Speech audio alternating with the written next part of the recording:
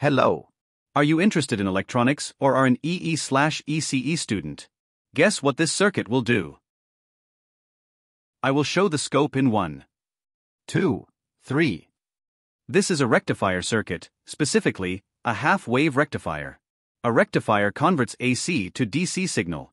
The half-wave rectifier passes only one half of the input sine wave and rejects the other half.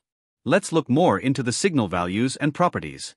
We see that the input is 2V amplitude from the input and would give have given a 20V amplitude output if not for the rectifier.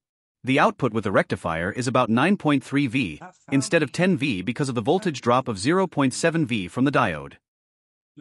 I have added three more diodes. Guess what the circuit will do now? Showing the scope in 3, 2, 1. This is a full wave bridge rectifier. The four diodes labeled D1 to D4 are arranged in series pairs, with only two diodes conducting current during each half cycle.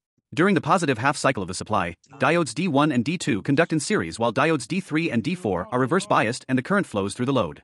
Notice that since two diodes are conducting at time for each half cycle, you will notice this output peak is about 8.6 V because of the voltage drops from the diodes, which are all rated 0.7 V, that is 10 minus 1.4 V.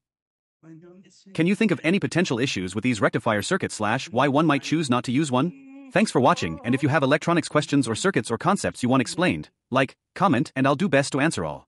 Ciao.